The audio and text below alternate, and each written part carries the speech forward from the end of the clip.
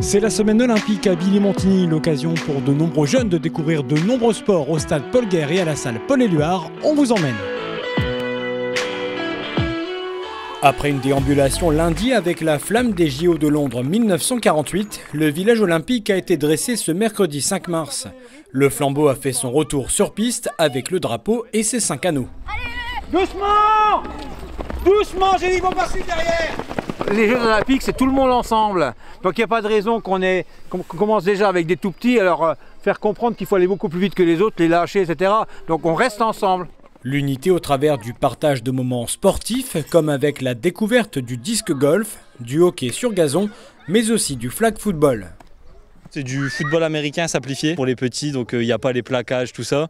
Au lieu d'avoir des plaquages, on remplace ça par une ceinture avec des petits rubans et euh, simplement ils doivent s'arracher le ruban pour euh, récupérer le ballon. La première passe, on doit la faire comme ça. Et tu peux, tu peux marquer comme ça. La ville de Billy-Montigny a encore un an avant de plonger dans l'aventure des Jeux 2024 à son échelle, de par son label Terre de Jeux, mais aussi grâce à son centre de préparation.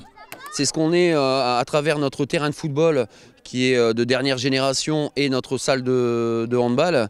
Euh, on a la possibilité de recevoir des délégations en vue des préparations au JO. Ça se fait en collaboration avec le comité départemental olympique. Pour l'instant, on n'a pas eu d'accroche là-dessus, mais on espère bien, en tout cas on fait tout pour accueillir une délégation sur, sur nos structures. Des structures qui ont permis ce mercredi de s'initier à l'escrime, au para-handball mais également au pool ball.